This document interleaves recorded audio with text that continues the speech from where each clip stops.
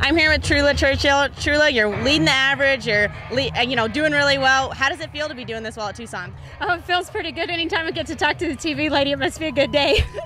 well, good, good. And you said, I mean, you didn't even hear your time or anything. Well, I mean, is this something that is that kind of just the adrenaline pumping and all that? Uh, yeah, kinda. I mean, I know I have to go and do my job every time. I can't worry about what everybody else has done or is going to do.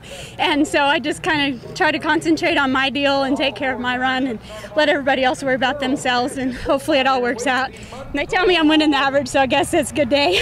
I guess that plan worked out. So, well, we wish you the best of luck and we'll see you Sunday.